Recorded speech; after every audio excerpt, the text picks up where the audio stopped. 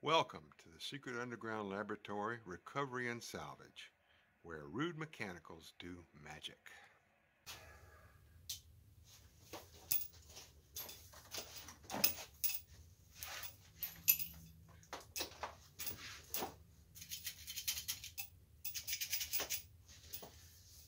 Hello, I'm Bronze Age, Director of Secret Underground Laboratory Recovery and Salvage.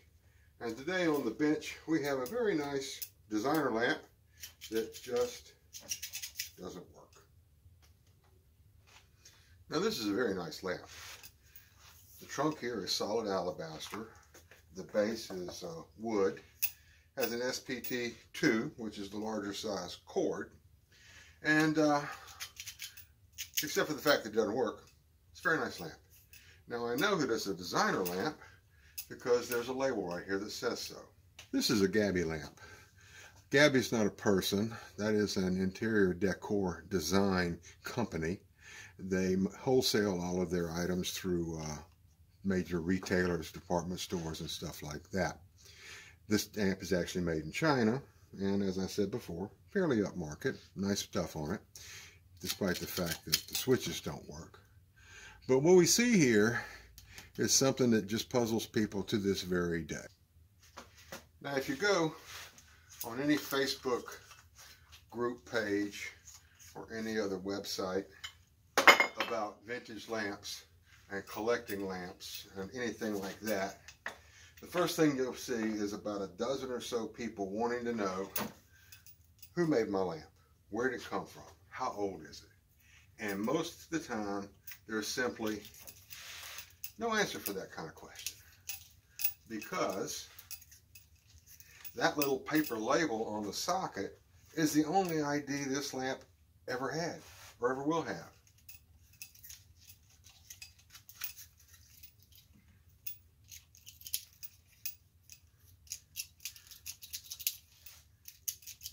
So, for instance, if the uh, lamp ever gets rewired and the sockets get replaced, the label goes away. Give this adhesive on here 50 or 60 years, it'll dry out, and someday somebody will be dusting the lamp and the whole thing peels off. And any trace of the original designer, where it came from, disappears. And it's been like that for 100 years or more. Now with the socket pulled apart and the interior exposed, we can see what the real problem here is. It's, I pull on this, doesn't make any noise. If I pull on a good one, we get a nice click and that's basically when one of these pull chain sockets goes out. The little thing that makes the click breaks off and you've got no more light. I'm going to replace it with this uh, Leviton socket, which uh, made in Mexico, but uh, I'm still sure it's still pretty good. And uh, let's hope it's better than the uh, Chinese one that this uh, lamp came with. Now, since this is a designer lamp, I'm going to be careful to preserve all the designer elements.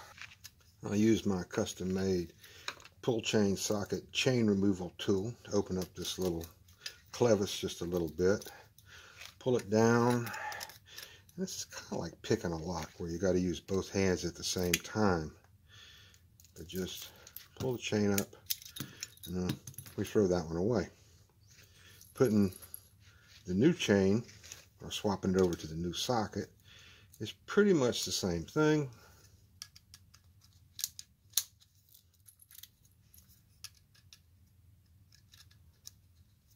that down.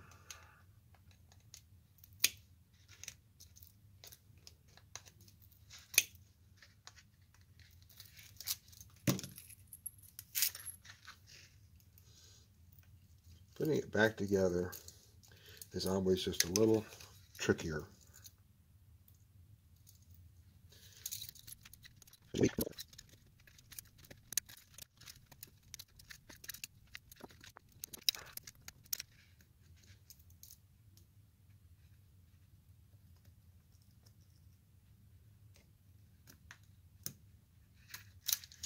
There we go.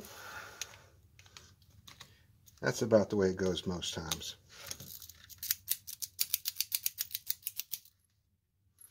Now is the part of the video where I give the same sermon that I always uh, recite when uh, wiring a lamp.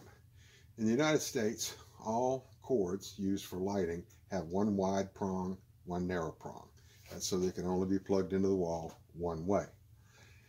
On the lamp cord, one side has ridges, which you can feel, one side is smooth. The side with the ridges always goes to the silver terminal on your light socket, which goes to the shell. The smooth one goes to the copper or the brass colored screw, which goes through the switch into the center. And that is for safety reasons. Now in this case, in this lamp, the cord comes up through the pipe and there's a junction here and the wire comes out white and black. But that's fairly easy to figure out. The white goes to the silver, the black goes to the brass. One last detail to note, these wires have been tinned, which means they started out as a wire with multiple strands like this, and then they were soldered so that when you put them underneath the screw, they don't splay out and get loose. That's a critical element in any lamp repair.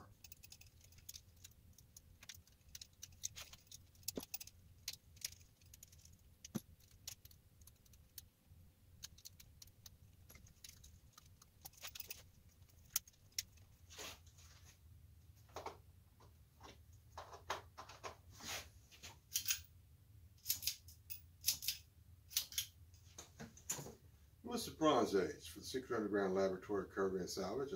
Thank you for sitting all the way through this video. If you found it informative, uh, please click the like button. I really appreciate if you would subscribe. I put out a video about once a week, and uh, I hope to see you again next week.